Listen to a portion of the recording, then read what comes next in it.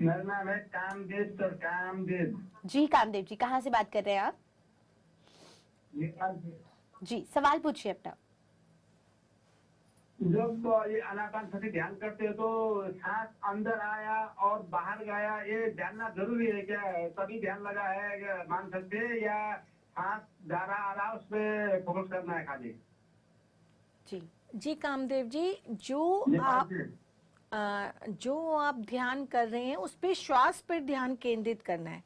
कैसे आ रहा है, कैसे नहीं जा रहा, कैसे, कहाँ से आ रहा है, किस तरह से आ रहा है, उस तरह पे आप ना ध्यान दें। आप सिर्फ़ श्वास पे फोकस करें कि श्वास आपकी आ रही है और जा रही है। समांतर गति से जो आप साधारण गति से ले रहे हैं अभी, उसी गति के ऊपर हमें फोकस करना है। कहाँ से और कैसे जब हम लेते हैं, जब हमें विचार बहुत ज़्यादा आते हैं तो हम ये देखते हैं कि हम एक एक श्वास को महसूस करें कि हम कैसे ले रहे हैं और कैसे छोड़ रहे हैं। दोनों का अर्थ एक ही है। अगर आप ध्यान में बैठेंगे तो आप श्वास को जब देखेंगे तो आपको खुद से पता चलेगा, मैं श्वास कैसे ले रहा हूँ और कैसे छोड़ रहा हूँ। दोनों एक ही चीज़ है।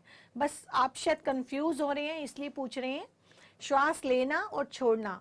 या श्वास पर ध्यान केंद्रित करना, कैसे आ रही है, जा रही है, वो एक ही चीज़ है तो वही तरीका है, उसके ऊपर करेंगे, ध्यान केंद्रित करेंगे ऑब्ज़र्व करेंगे तो आपका ध्यान अच्छे से लगेगा। जी जी कामबू जी, उम्मीद है आपको आपके सवाल का जवाब मिला होगा। कार्यक्रम में कॉल करने के लिए बहुत बहुत धन्यवाद।